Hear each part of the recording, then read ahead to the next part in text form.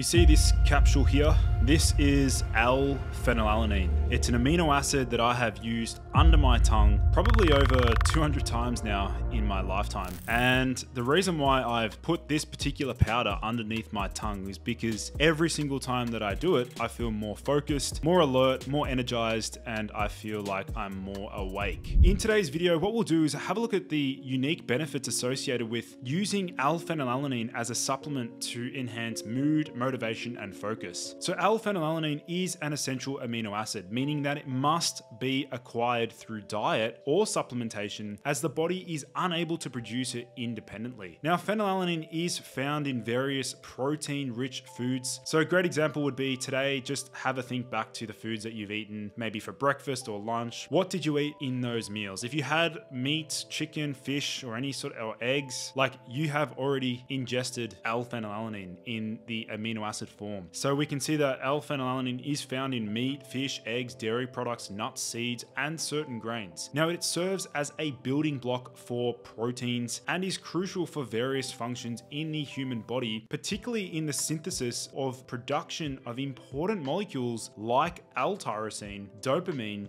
norepinephrine, epinephrine, which regulate mood, appetite, and the stress response. Now, individuals afflicted with phenylketonuria, which is a very rare rare genetic disorder face difficulties metabolizing phenylalanine. Um, so this is very rare. You'll see on, you know, on soft drink labels and, you know, some energy drinks, they'll say warning contains phenylalanine. It's very rare that somebody actually has the phenylketonuria, which is a rare genetic disorder um, where you can't actually metabolize it and there's issues with uh, that pathway. So why are people using L-phenylalanine? Like why have I used this under my tongue where I've let it, you know, just I've opened the capsule, put it under my tongue, about 200 milligrams. Why are people doing this? Well, why are people actually experimenting with L-phenylalanine? Well, when I first read up about L-phenylalanine, I knew that it was going to exert a dopaminergic effect. And so if we look at the main uses, number one is cognitive enhancement. So as a nootropic, mental health and wellness. So for addiction, depression, general mood, ADHD, um, to enhance exercise performance, I can definitely vet that. If you take it before a workout, you will probably notice less fatigue because remember that serotonin buildup during a workout is what contributes to fatigue. So, and the opposite is true for dopamine. The more dopamine you have throughout a workout, the greater your endurance, your resilience, and your willpower. And just think about, you know, those last few reps. What is it that gets you over the line? A lot of that is mediated by dopamine and norepinephrine. We can see that L-phenylalanine has also been used for appetite control, pain, alcohol withdrawal, Parkinson's disease, skin health such as vitiligo and we can see the different pathways here. So you can see that L-phenylalanine goes down via the phenylalanine hydroxylase pathway down into tyrosine then from tyrosine hydroxylase that pathway goes to L-dopa and then from dopa decarboxylase that enzyme accelerates the conversion of dopa into our favorite neurotransmitter dopamine. So the key benefits we can see that L-phenylalanine has been used for depression as a mood enhancer a brain booster treatment of alcohol and drug addiction, it helps with vitiligo, and it's possible a fat burner during exercise. That's another point that I love about phenylalanine. If you take it on an empty stomach before a workout, it actually will enhance the amount of fat that you burn during that workout. So as I said, it is essential substrate for molecular synthesis in the body for neurotransmitter systems, dopamine, and the catecholamines. Now, this usually results in improvement in motivation, increased concentration, focus, anxiety relief, and mood enhancement. Now, depletion in in the two studies below showed impairment memory tests and alertness, higher irritability, anxiety, lower mood, and energy. If you deplete the brain of L-phenylalanine, it's very likely you'll see reductions in alertness, memory, and you'll feel more irritable, anxious, and have lower mood. It's interesting to note the behavioral effects of acute phenylalanine and tyrosine depletion in healthy male volunteers. This would make a lot of sense if you're restricting the substrate, the precursor for dopamine synthesis. Yes, of course, you're probably going to be more irritable, you're gonna have a lower mood, you're gonna have less energy, you're not gonna be as vital and thriving on life. If we have a look at these studies here, so this first study here was titled The Effects of Phenylalanine on Exercise-Induced Fat Oxidation, a preliminary double-blind placebo-controlled crossover trial. And basically what they noted was that these results suggested that pre-exercise supplementation of phenylalanine may stimulate whole body fat oxidation. No serious or study-related adverse effects were observed. This next study here here was titled Dietary Supplements of L-phenylalanine and Other Amino Acid Precursors of Brain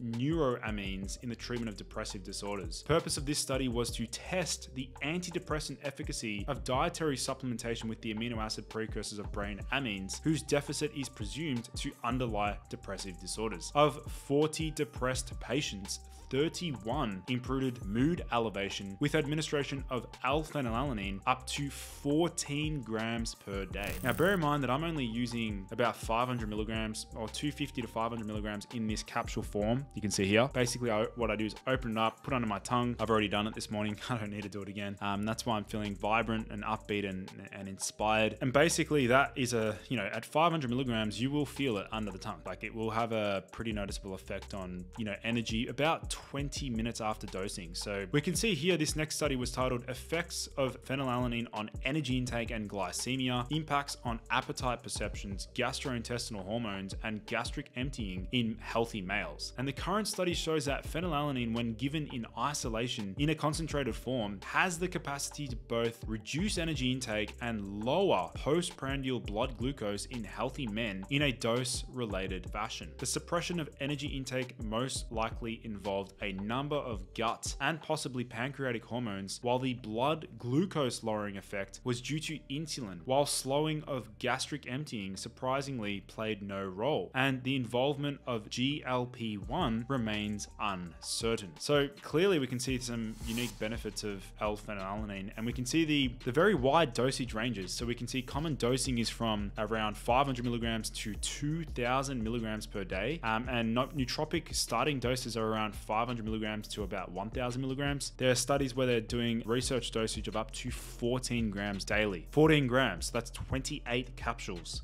of a 500 milligram capsule. Huge doses. Uh, too high poses risk of hypomanic symptoms. Um, so obviously, you know, can be quite euphoric at that sort of dosage. I don't advise going above 2000 milligrams personally. And bear in mind that it's best taken on an empty stomach. So you want to use L-phenylalanine on an empty stomach and away from food, away from other amino acids as well. Just remember that fact. If you look at what phenylalanine actually can stack well with, it does actually stack well with other cognitive enhancers so things like caffeine, L-carnitine. It also works well with huperzine A, ginkgo biloba, and some other racetams. And we can maximize effects by pairing with other substrates for neurotransmitter synthesis, such as vitamin B6, vitamin C. Remember, the vitamin B6 dosage must be low. Copper, folate, iron, and zinc. As we can see here, these are all essential cofactors for the adequate conversion pathways. So, you know, we need enough vitamin B6, we need vitamin C, we need copper, we need folate, we need iron, we need zinc. This is why it's important important to have a diet that is rich in bioavailable nutrients, which is basically a modified carnivore diet, in my opinion. So, if we look at the other unique effects, so we can see that D-L-phenylalanine markedly potentiates opiate analgesia. This is a different form of phenylalanine. This is the D-L-phenylalanine. I'm not as much a fan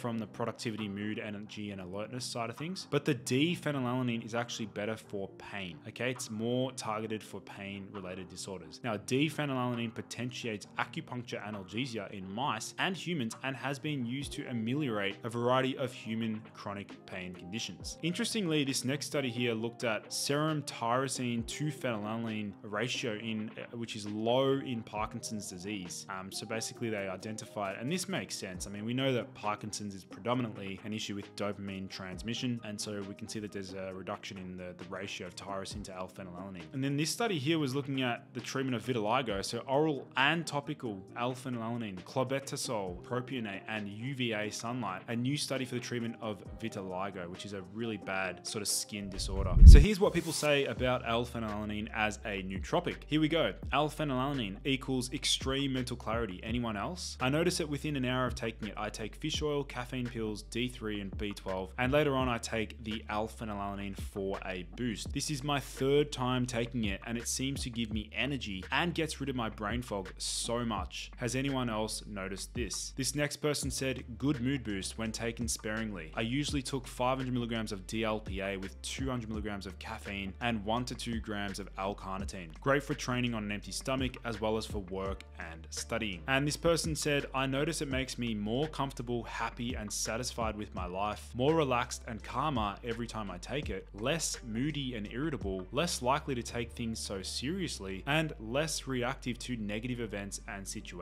So I do want to share that my experience does sort of match this with L-phenylalanine. Uh, it reliably increases my alertness, focus, and just general confidence. You know, this is a, a supplement that I'm a big fan of, and it's always there in my pantry for when I need a bit of a boost, um, particularly before filming or before podcasts, things like that. So yeah, definitely check out L-phenylalanine if you are interested in, you know, maximizing your cognitive potential. And don't forget to check out this video here. Uh, I'll be making sure we leave a, a video on the, side here to gain more insights into cognitive enhancement. Otherwise, guys, please like the video. If you like this video, please like it and drop a comment down below. Let's get a discussion going. All right, I'll see you in the next video.